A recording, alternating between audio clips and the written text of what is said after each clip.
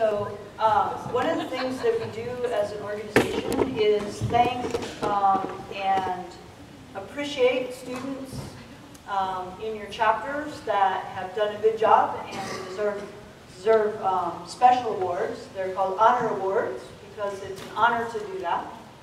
Um, and these are nominated by their fellow members. So the chapter decided that the person that was nominated is um, went above and beyond in a way, and so um, they've written something about each of them, and we'll read it. So we're going to start with uh, Gamma Eta. They're in no particular order, just the order I have them on my computer. Um, Aaron Smith. Aaron Smith was a member throughout his time at Marian after he acquired the necessary credit hours to fulfill membership requirements. After becoming an inducted member, he quickly became involved in any event, speaker, or volunteering opportunity that he could find.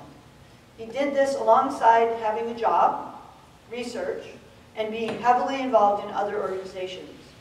Aaron served as the Gamma Eta president in the fall of 2016 after serving as an officer the previous school year as we began the early stages of planning this national convention, setting the chapter up for success in the upcoming spring semester.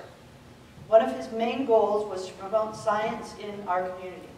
He sought multiple opportunities for our members to be a part of the science outreach throughout the fall semester, greatly benefiting our community around us. In officer meetings, there were always discussions about how we can continue making a larger impact in the community around us.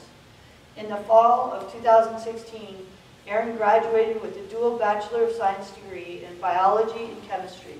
He will be attending IU's medical school in the fall of 2017 in their dual MD and Master's in Bioethics program. Through this, he will continue to have a positive impact in the community around him. It is with great pleasure that we award um, Aaron Smith with an honor award from this chapter. Is Aaron present? He uh, couldn't be here for. He could not be here. Okay. So is there somebody from his chapter that can come and accept his award?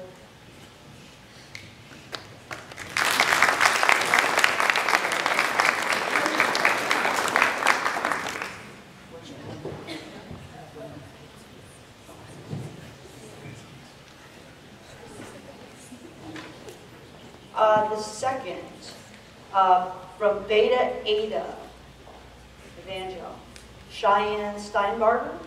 Cheyenne has been a member of Sigma Zeta since 2014 and a president of the Beta Eta chapter for the past year.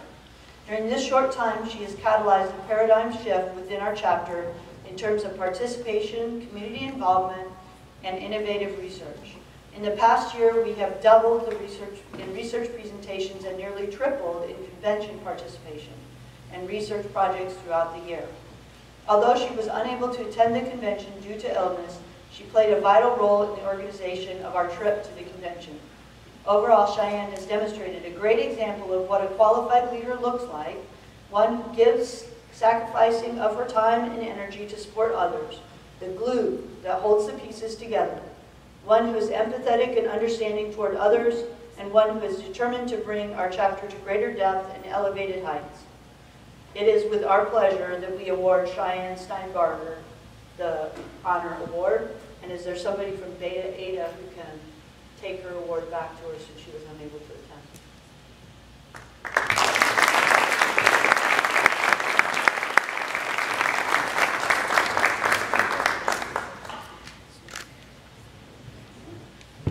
Um, the next one is from Alpha Gamma, Anna Johnson. Hopefully we have some honor award members who are here. Yeah, Anna's here? Awesome. The Sigma Zeta Alpha Gamma chapter nominates Anna Johnson to receive the 2017 Honor Award.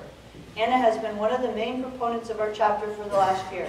She is an integrated mathematics major intending to gain her licensure to teach 7th through 12th grade. She has served in the field at Canton City Middle Schools for nine, over 90 hours and has volunteered for countless hours at a local elementary school. In her free time, Anna loves to garden and spend time with her dog, Jack. Since joining Sigma Zeta, she has tutored students for more than 120 hours and helped organize our annual fundraiser and Christmas party. She has a passion for mathematics and currently serves as the president of Malone's Unbounded Club. Which often partners with Sigma Zeta to host student events on campus. Recently, she hosted a Pi Day event, which raised money for local charities. The event brought a diverse student body together to celebrate a love for mathematics. Her outstanding service, innovation, and creativity have been fundamental to the growth of our chapter and has helped with the recruitment of many new members. It is our pleasure to award Anna Johnson the Honor Award.